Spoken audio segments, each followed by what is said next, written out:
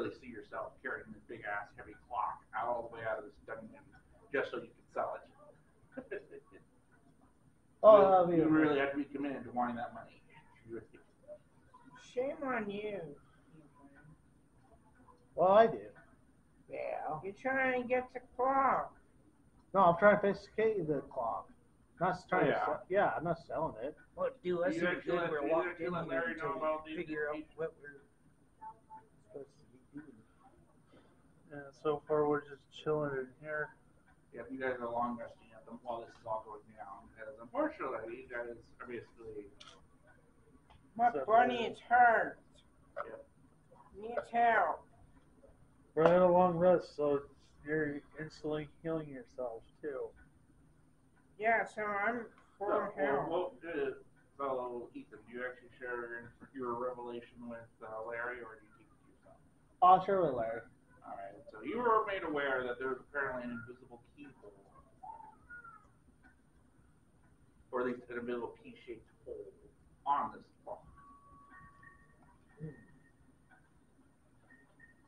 It is now 12:45.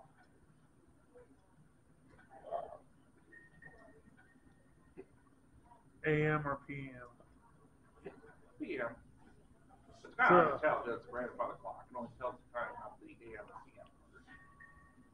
Wait, have we So in here for- technically, it's our lunchtime over Oh, there. we've been in here for a whole day already. Yay, lunchtime. So, uh, yeah, I- Have we been in here a whole day already? well, we have, we have to go on short, short ration stuff.